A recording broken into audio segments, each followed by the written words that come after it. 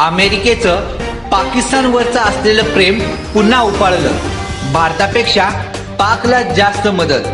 Corona व्हायरसचा नियंत्रण मिळवण्यासाठी अमेरिकेचे राष्ट्राध्यक्ष डोनाल्ड ट्रम्प यांनी भारताला धमकी देत हायड्रॉक्सोक्लोरिन औषध मिळवलं. त्यासाठी भारताला या औषधावरील निर्यात उठवावी लागली. जगावर कोरोना व्हायरसचं संकट ओढल्यानंतर अमेरिकेने जगातील अनेक देशांना आरोग्य सहायता निधी जाहीर केला आहे.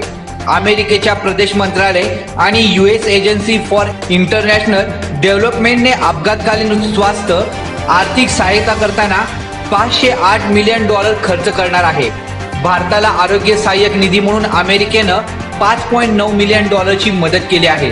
तर दुसरीकडे पाकिस्तानला नऊ पॉईंट चार मिलियन डॉलरची मदत केली आहे. यावरून अमेरिकेचं पाकिस्तान प्रेम पुन्हा उफळल्याचं दिसून आलं आहे. अमेरिकेने भारतासह अफगाणिस्तानला अठरा मिलियन डॉलर बांगलादेशला नऊ पॉईंट सहा मिलियन डॉलर भूतानला पाच लाख डॉलर नेपाळला एक पॉईंट आठ मिलियन डॉलर आणि श्रीलंकेला एक पॉईंट तीन मिलियन डॉलरची मदत जाहीर केली आहे. यावेळेस बोलताना डोनाल्ड ट्रम्प म्हणाले की मी रविवारी सकाळी पंतप्रधान नरेंद्र मोदी यांच्याशी चर्चा केली. हायड्रोक्लिन क्लोराईन औषधाचा पुरवठा करत आहात. त्याबद्दल आम्ही तुमचे आभारी आहोत असं सांगितलं आहे.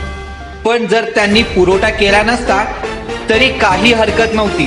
पण मग आम्हीही जशाच तसं उत्तर दिलं असतं आणि ते आम्ही का करू नये असंही डोनाल्ड ट्रम्प यांनी म्हटलं आहे.